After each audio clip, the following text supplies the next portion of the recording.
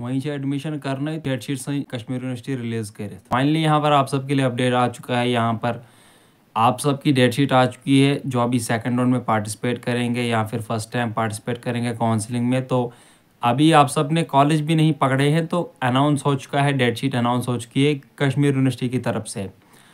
तो उसी के बारे में हम बात करेंगे डिटेल बात करेंगे, कौन सा पेपर कब है। अभी तो हो सकता है कि स्टूडेंट को पता भी नहीं हो, हमें कौन कौन सा सब्जेक्ट पढ़ना है। तो अभी मैं आपको यहाँ पर अभी दिखाऊँगा जो डेड शीट आई है कश्मीर यूनिवर्सिटी की तरफ़ से।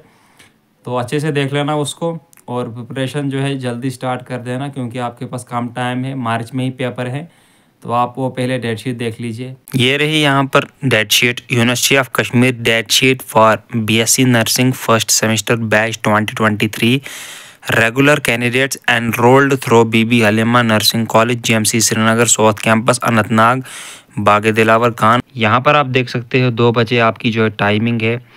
पंद्रह तारीख से आपके पेपर स्टार्ट है तो अभी ये मुझे अजीब लग रहा है बोलने में, क्योंकि अभी आपकी क्लासेस भी जो है, बहुत सारे जो स्टूडेंट्स हैं यहाँ पर बोल रहे थे कि अभी क्लासेस स्टार्ट नहीं हुई हैं तो कहीं कहीं पर हो सकता है हुई हो।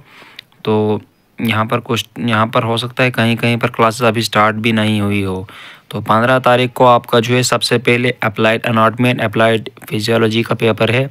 उसके बाद 18 मार्च को applied sociology and applied physiology का है।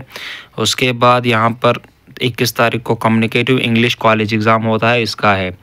तो यहाँ पर note practical date sheet will be notified by the principal of concern college in consultation with the controller of examination centre notice will be issued separately the notification for submission of form shall be issued before conduct of above examination तो ये जो है, ये first semester के लिए और copy किस किस को किया गया है, यहाँ पर आप देख सकते हो कॉपी टू तो यहाँ पर आप देख सकते हो, आपकी डेट शीट भी निकल गई और यहाँ पर आपको अभी तक बहुत सारे स्टूडेंट्स को कॉलेज भी नहीं मिला है और जो अभी हो सकता है कहीं कहीं पर क्लासेस भी स्टार्ट नहीं हुई होगी।